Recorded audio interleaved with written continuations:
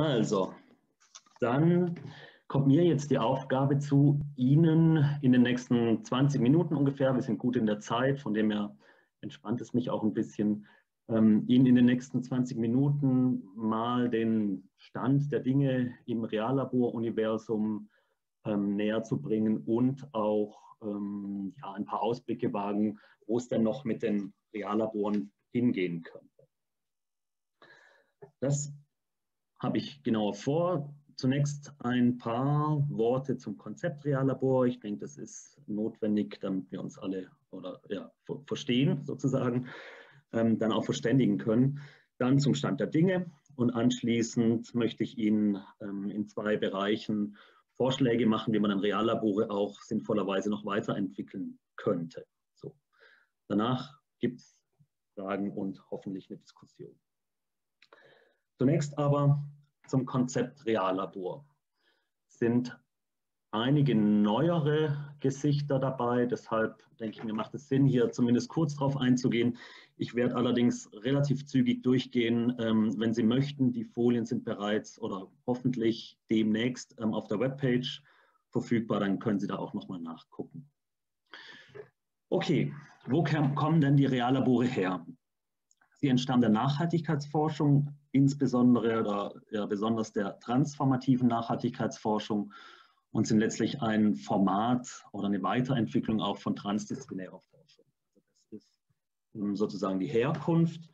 Ja, Reallabore sind hybride Gebilde, Projekte, Unternehmungen an der, an der Schnittstelle von Wissenschaft und Gesellschaft. Da komme ich später nochmal drauf zurück. Und ein großer Meilenstein in der Reallaborentwicklung ähm, bzw. auch Verbreitung war dann dem, das erste Förderprogramm in, in Baden-Württemberg, Reallabore BAVÜ-Labs genannt, 2015, wo 14 Reallabore sozusagen en bloc entstanden sind. Ähm, genau, das liegt jetzt auch schon wieder fünf, sechs Jahre zurück. Trotz allem ist der Begriff und auch das Format noch relativ jung und deutungsoffen. Ich habe Ihnen bei aller Offenheit der Deutung mal eine Begriffsbestimmung mitgebracht. Ähm, das ist sozusagen eine aus Karlsruhe, unsere hier. Ähm, das ist sicher nicht die einzige und sicher auch irgendwie umstritten, aber in weiten Teilen des Reallabordiskurses wird sowas oder sowas ähnliches unter Reallabor verstanden. Von dem her ähm, brauchen wir jetzt da, glaube ich, in keine Riesendiskussion darüber einzusteigen, sondern einfach mal ähm, schauen, so was, was, um was, um was geht es denn im, im Großen und Ganzen.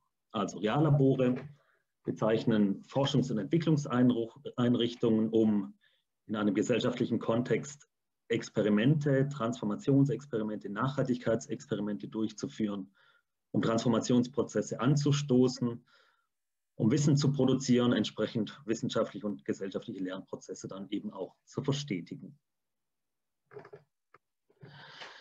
In unserer Tätigkeit ähm, im Feld der Reallabore haben wir über die Jahre neun konstitutive Charakteristika eines Reallabors mal destilliert. Die möchte ich Ihnen ganz kurz vorstellen. Ähm, natürlich sind Reallabore Wissensproduktionseinheiten. Sie betreiben Forschung und haben eine Forschungsorientierung.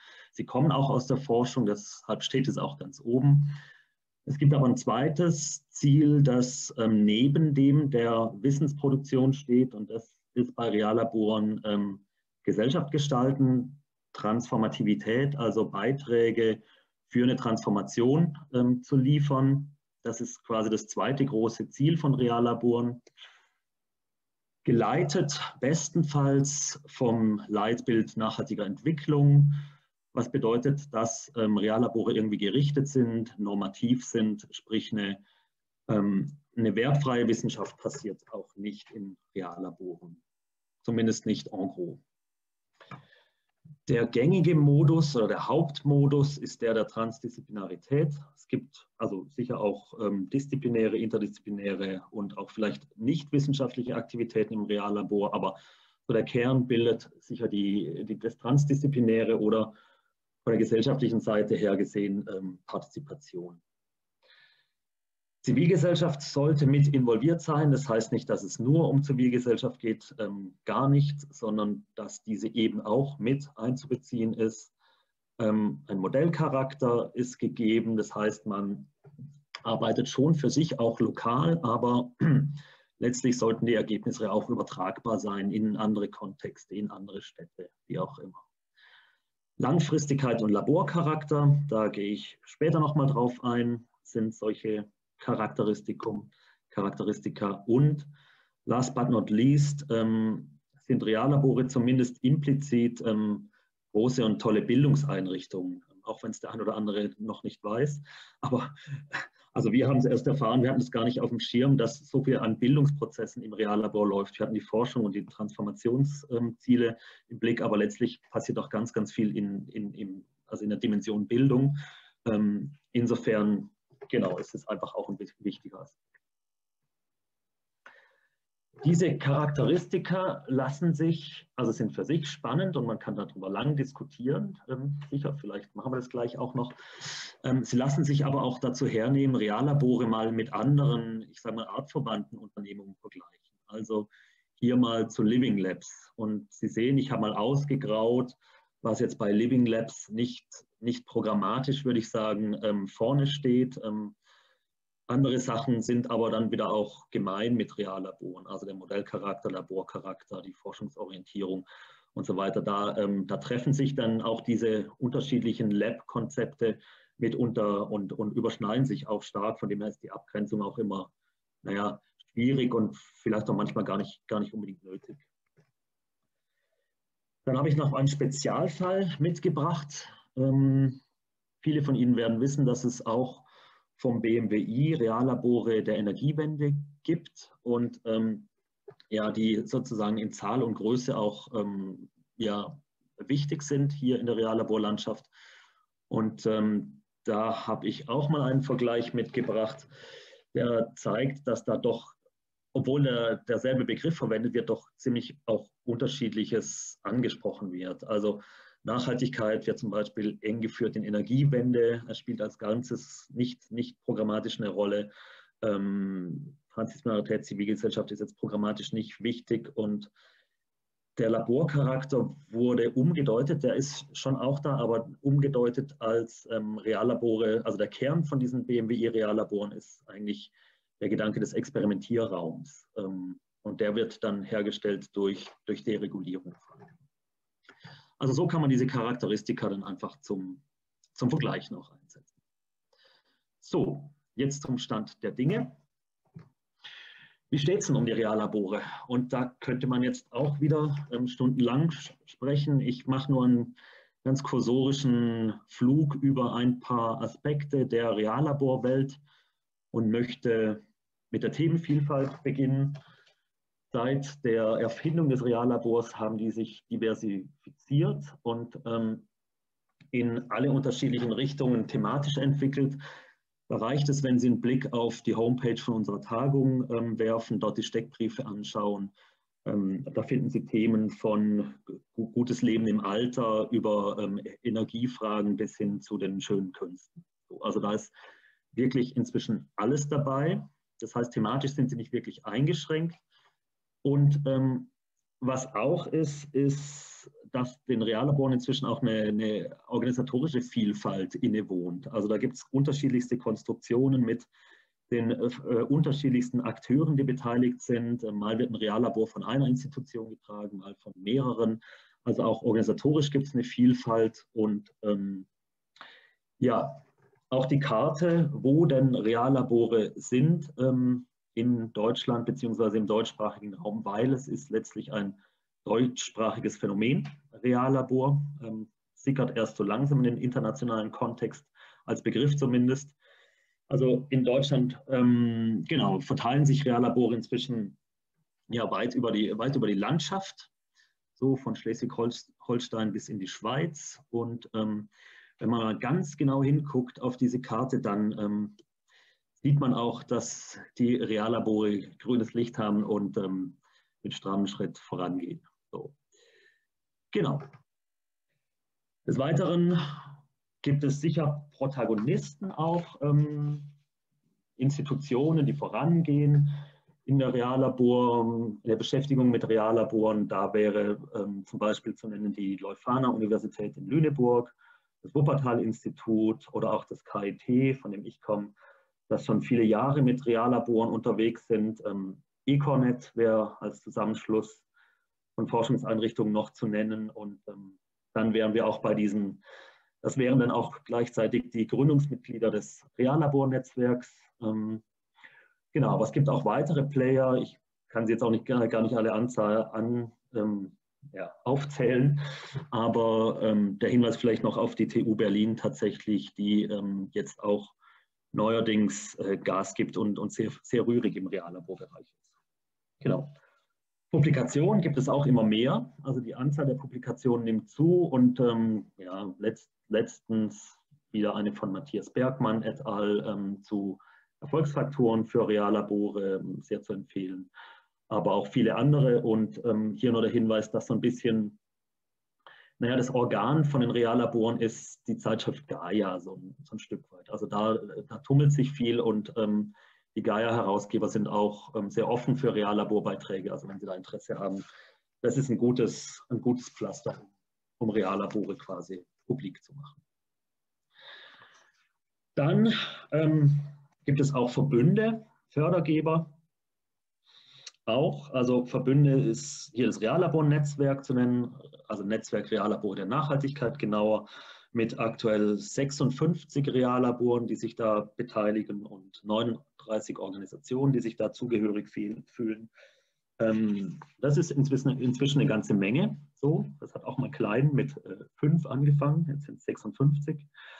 Ähm, des Weiteren gibt es einen auch noch einen größeren Verbund, eben diese Reallabore der Energiewende.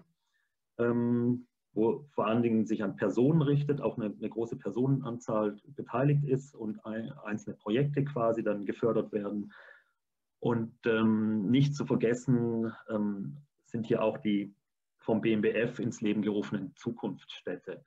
Also dort werden Städte zu Reallaboren oder betreiben Städte mit ähm, anderen Partnern Reallabore. Ähm, genau, das sind auch wesentliche und wichtige, ist auch ein wesentlicher und wichtiger Reallaborverbund. Fördergeber. In Baden-Württemberg hat es angefangen, dann folgte Nordrhein-Westfalen und auch andere äh, Bundesländer.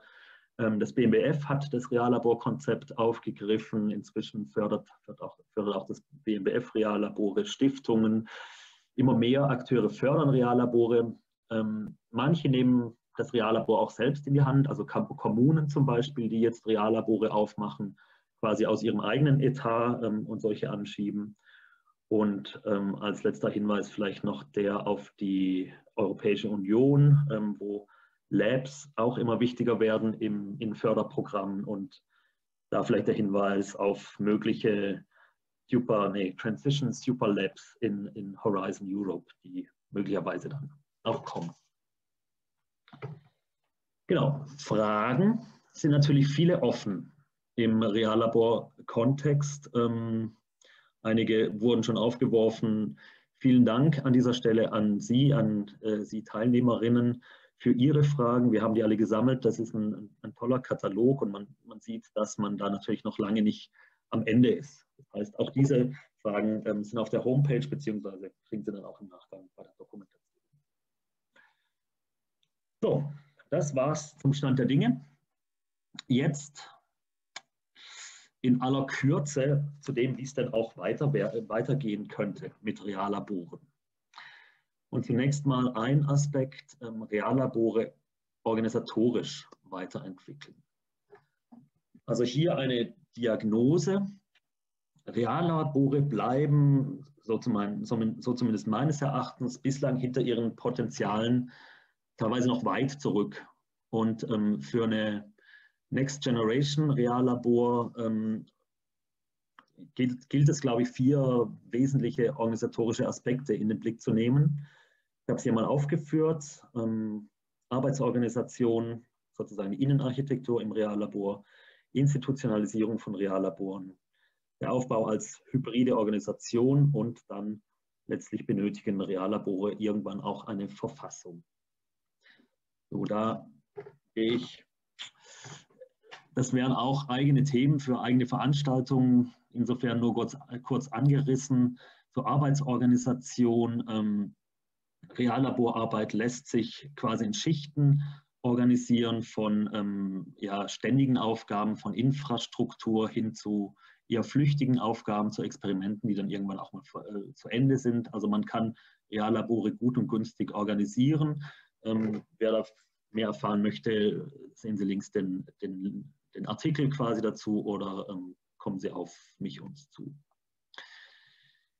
Zur Institutionalisierung, da werde ich immer ganz aufgeregt, weil ich glaube, da liegt tatsächlich noch das größte Potenzial von Reallaboren, ähm, wenn man sie denn künftig als Institution des Wandels tatsächlich auf Dauer stellen würde. Momentan, Sie kennen es wahrscheinlich alle, sind äh, Reallabore zu 98 Prozent als flüchtige Projekte für zwei, drei oder vielleicht auch mal fünf Jahre organisiert. Ähm, das heißt, das sind, es bleiben Projekte, es bleiben damit Projekte transformativer Nachhaltigkeitsforschung oder transdisziplinärer Wissenschaft. Aber Reallabore in meinem Verständnis wären tatsächlich Institutionen und das Potenzial wäre eben dann, ähm, dass diese Reallabore dann auch über 10, 20 oder 50 Jahre, vielleicht auch mal über 100 Jahre Bestand haben und Transformationsprozesse nicht nur initiieren können, sondern tatsächlich auch begleiten, sprich beforschen langfristig, aber auch sozusagen in, in, die, in der Transformation begleiten, also da auch unterstützen in ihrem Transformationsprozess und letztlich dann eben auch ex post dann bewerten können. Also als Institution des Wandels wären sie tatsächlich ähm, tolle Neuerungen im Wissenschafts- und Transformationsgeschehen. So, das mag für den einen oder anderen vielleicht ein bisschen komisch klingen, vielleicht auch nicht, aber ähm, die doppelte Zielsetzung von Reallaboren, also Wissen schaffen und ähm, gleichzeitig Gesellschaft gestalten oder Beiträge für eine Transformation zu liefern, die muss sich letztlich, wenn Reallabore sich stabil etablieren wollen, auch in deren Innern, in, der, in deren Organisation und letztlich auch in deren Trägerschaft widerspiegeln. Ich habe das mal ein bisschen bildlich verdeutlicht hier, also Reallabore als ähm, Schnittstellen, Gebilde ähm, haben Impulse aus der Wissenschaft und bringen Impulse in die Wissenschaft, genauso wie die in, in die gesellschaftliche Seite. Das Ganze funktioniert aber stabil und gut und ähm, effizient nur, wenn sich diese beiden ähm, Sphären auch innerhalb des Reallabors abbilden. Also wenn die quasi sich auch innerhalb des Reallabors irgendwie organisatorisch niederschlagen. Hier ein Beispiel mal, um es ein bisschen zu verdeutlichen. Wir sind gerade dabei, das Karlsruher Transformationszentrum zu gründen als Dach über unser Reallaborquartier Zukunft.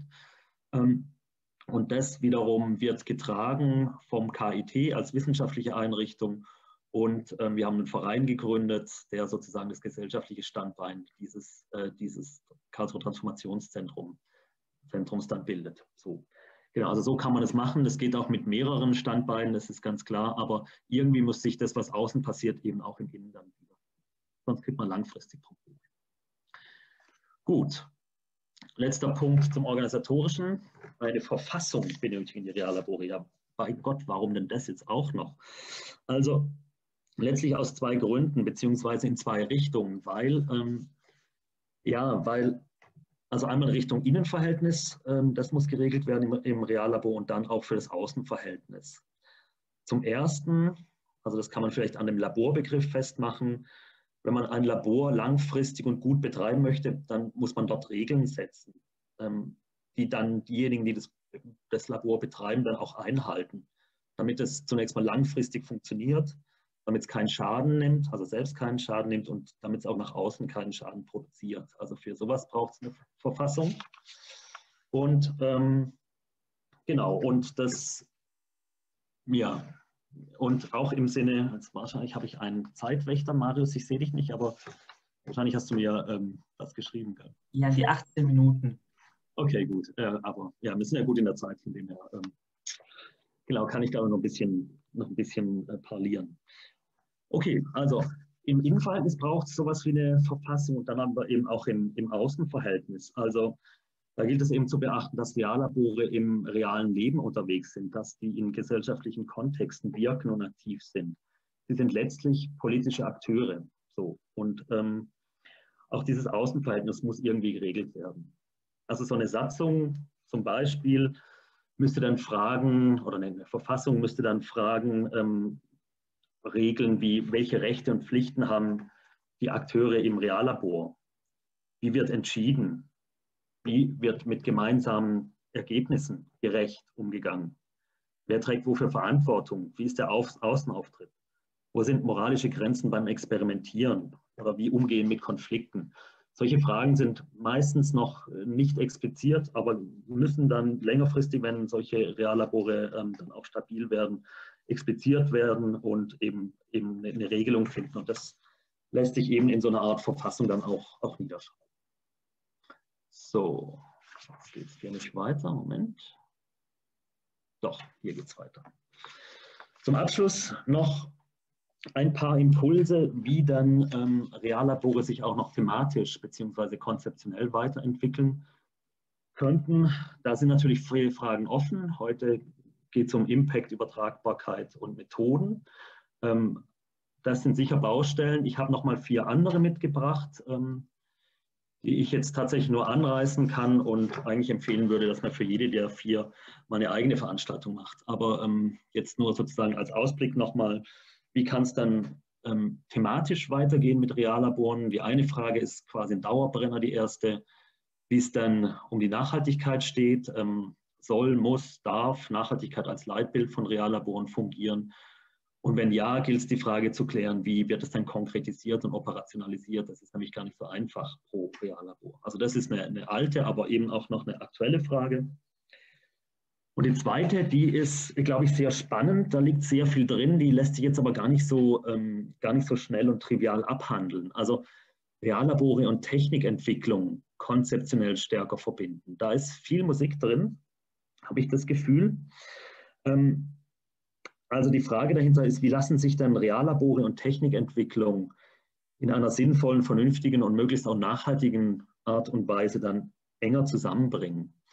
Und ähm, hier eine ganz verkürzte Antwort, dann war es das schon wieder mit dem Punkt, leider, ähm, durch die Einführung von technikreflexiven Elementen, sage ich mal also technikreflexive Elemente wie zum Beispiel Technikfolgenabschätzung oder Responsible Research äh, and Innovation.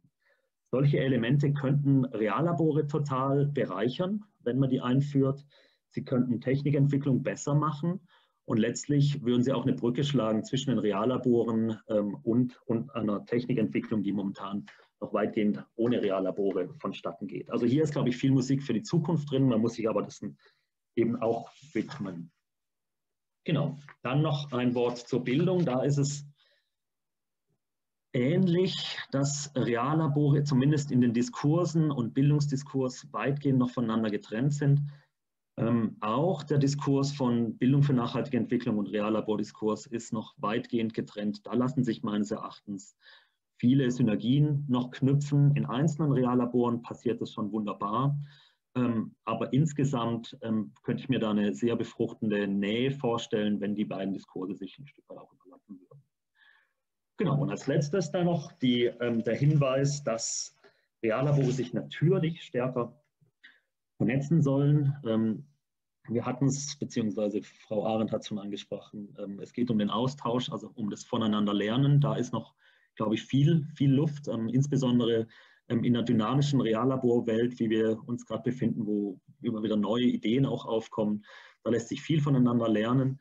Ähm, es lässt sich aber auch, ähm, naja, Reallabore vergleichen zum Beispiel. Also man könnte mal ein, größeren, ein größeres Forschungsprojekt aufsetzen, wo Reallabore dann verglichen werden. Und man kann eben auch eine, eine, eine stärkere Stimme kriegen, wenn man sich zusammenschließt. In diesem Sinne, vielen Dank für Ihre Aufmerksamkeit und ähm, ich freue mich auf Ihre Fragen und die Diskussion.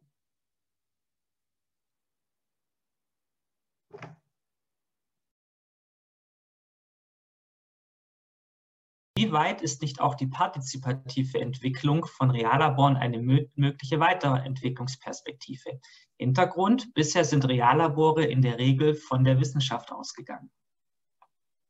Ja, genau. Ich glaube, da haben Sie einen, wichtigen oder einen, auch einen wunden Punkt getroffen. Ähm, von dem ich auch ausgegangen bin und diese ähm, innere Organisation von Reallaboren entwickelt habe, dass sich das eben auch im, was, was man, was draußen passiert, im Inneren widerspiegeln muss. Also Reallabore haben nämlich letztlich ein Stück weit einen Geburtsfehler. Den haben sie inzwischen schon ein bisschen überwunden, aber sie sind aus der Wissenschaft entstanden und ähm, sollten aber als quasi Schnittstelle zwischen Wissenschaft und, und Gesellschaft funktionieren. Und das hat am Anfang auch noch wirklich ähm, teilweise arg geknirscht an, an der Stelle. Das heißt, letztlich geht, meines Erachtens muss die Entwicklung dahin gehen, dass, diese, dass dieser gesellschaftliche Teil aufgewertet wird, dass die Akteure dann mehr Mitspracherecht haben, dass, die, ähm, dass es wirklich zu einer, zu einer Co-Produktion von Wissen und, und Transformation kommt.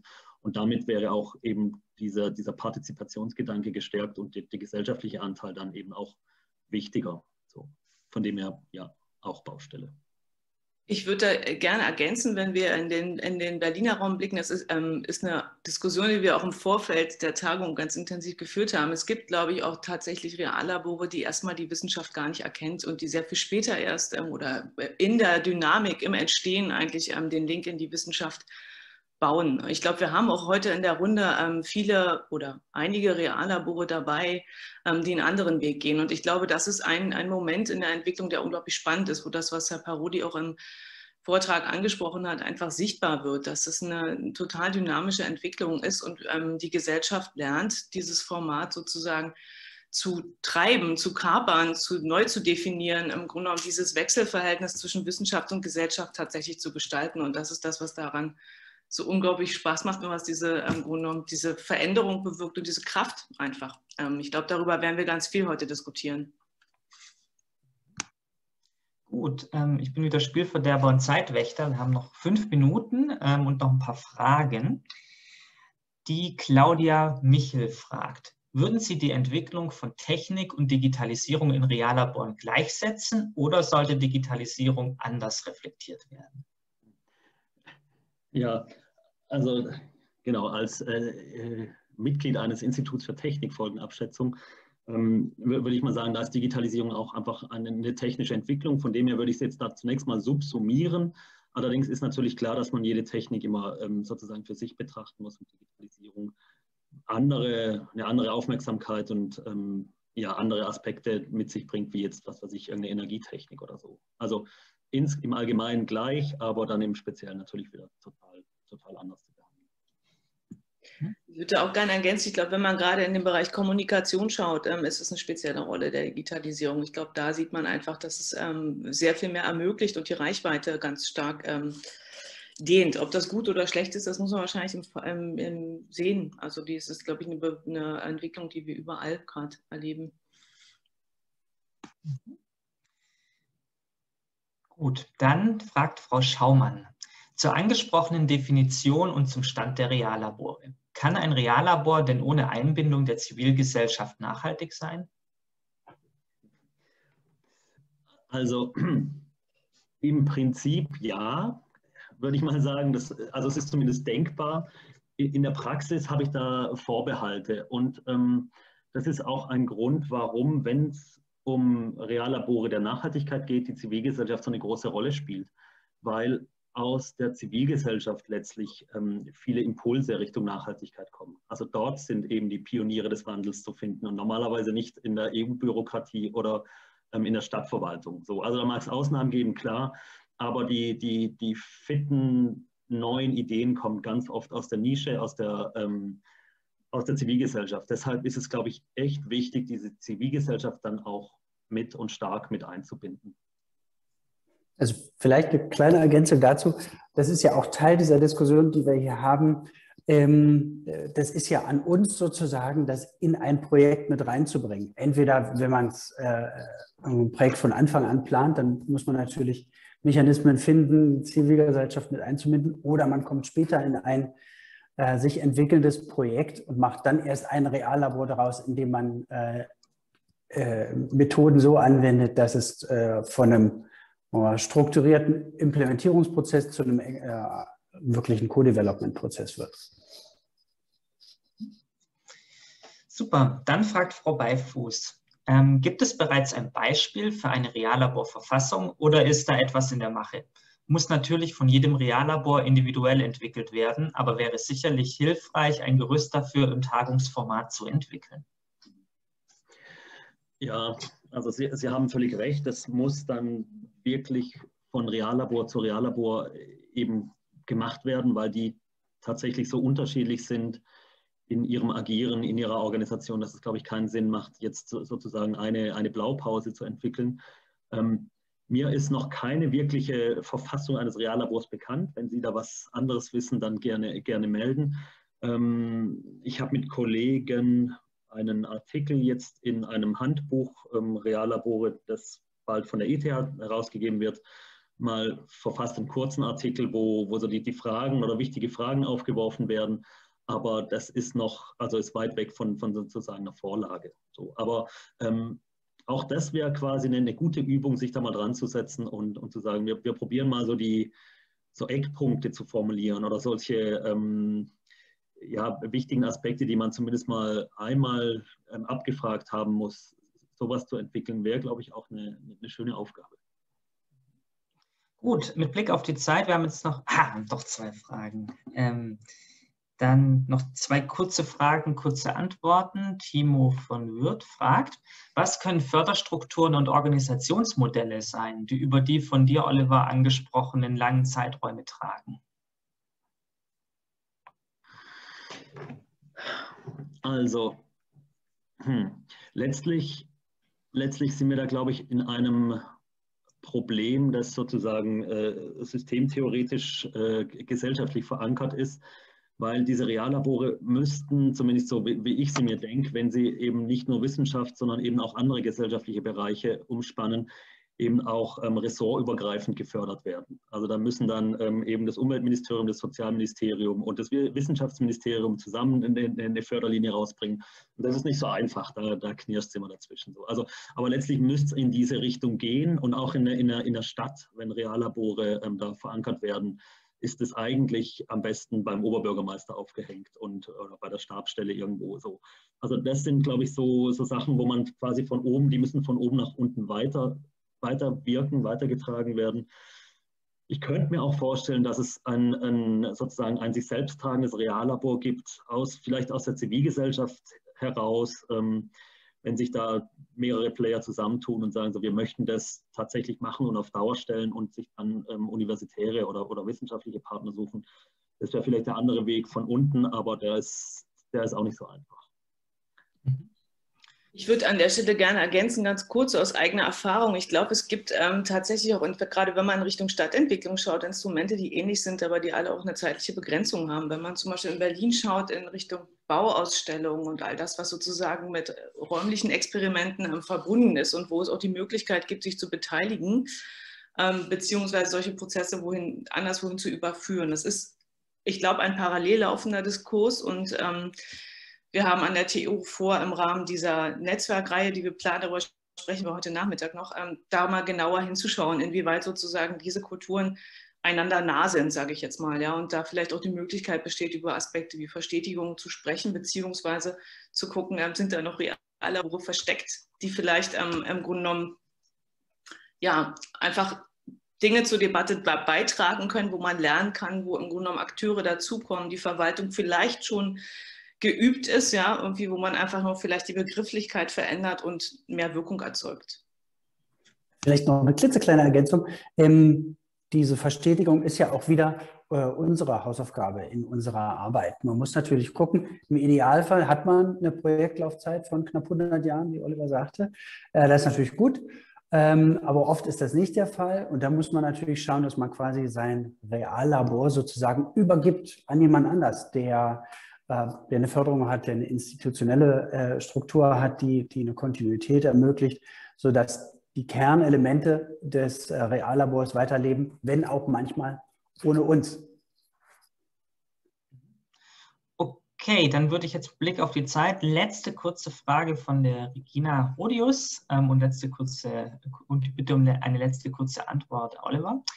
Regina Odius fragt, ich fände es reizvoll und wichtig, die derzeit oft eher instrumentelle Forschung, also zum Beispiel Methoden oder Erfolgsfaktoren, um mehr erkenntnistheoretische Aspekte zu ergänzen. Also sie meint damit, was passiert eigentlich im Reallabor, welche Transformationspfade werden gefördert, welche nicht.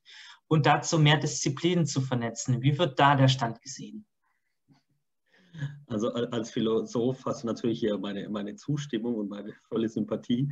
Ähm, allerdings, also du, du, du, weißt es ja selber, es ist schwierig, glaube ich. Also diese Reallabore, die, ähm, die, da geht es schon um ein bisschen Produktion und, und aber letztlich sind die sehr angewandt tätig und man ist ein Stück weit weg von den tiefergehenden erkenntnistheoretischen Fragen. So. Also die sind nicht so einfach ähm, im, im täglichen Prozedere von Reallaboren oder die gehen letztlich mal, mal unter vielleicht, ähm, sind nicht so, so im Vordergrund.